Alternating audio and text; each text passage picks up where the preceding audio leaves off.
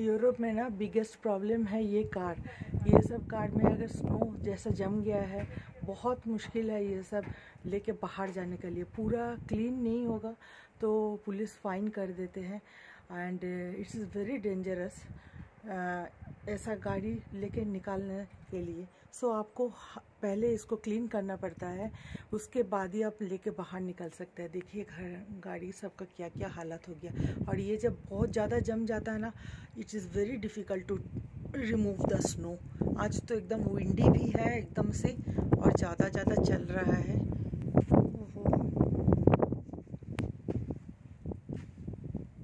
Last year से ज़्यादा snow है आज। визбар.